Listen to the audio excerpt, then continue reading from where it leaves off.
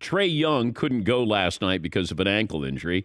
And you would have thought, all right, big advantage for the Milwaukee Bucks. And the Bucks were, I think, nine point favorites in Atlanta. Well, Atlanta held the lead throughout the game. Then in the third quarter, under eight minutes to go, Giannis went down with a hyperextended knee. The Hawks, that momentum continued. They ended up winning comfortably. And making predictions feels futile because the Stars simply can't stay healthy this year. And some of this has to do with conditioning. We've talked about this before. I think James Harden and Anthony Davis, their injuries had to do with their lack of conditioning. But a lot of the other injuries that have happened, you know, Giannis last night, Trae Young stepping on an official's foot, uh, even go back to LeBron injuring his ankle. We've had injuries. Uh, Kyrie Irving, his injury. You know, what had to do with conditioning and what is just a coincidence here? We've had bigger names here. And LeBron might have been right. It's the condensed schedule, quick turnaround after winning the championship.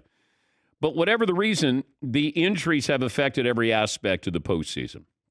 Now, we hope that uh, Trae Young and the Greek Freak are okay. They're able to play. I don't know if Giannis is going to be able to play. It looked really, really bad initially.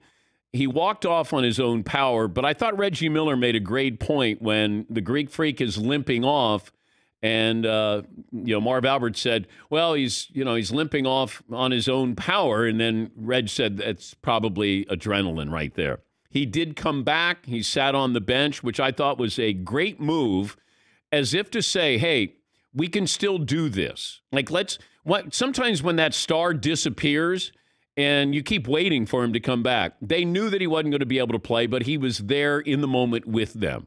And I think that that while they didn't win, to me, I loved what I saw with the Greek Freak doing that. But, uh, you know, we just have to settle for competitive games here. We may not see the best players. And I know that you're going to have people, we love to always attach an asterisk. Well, that team that won the title in 2021, that's an asterisk. It's just like the Lakers. Oh, they won in the bubble. That's an asterisk. You you win. Uh, trust me. If the Suns, the Bucks, the Hawks, the Clippers win the title, they're going to celebrate you can kiss their asterisk. They don't care. They just want to win a championship here. It this is, you know, attrition. Whoever is the healthiest is going to win the title. I've said it. I feel that way. We're seeing it unfold right in front of us. Whoever is the healthiest is probably going to win an NBA championship. That doesn't mean they're the best team, but this year, this was about health. Yes, McLovin. This isn't an asteroid, it's an asteroid. Hmm. It's just the, the whole thing's been blown up. This is going to be Hawks Suns. Give me a.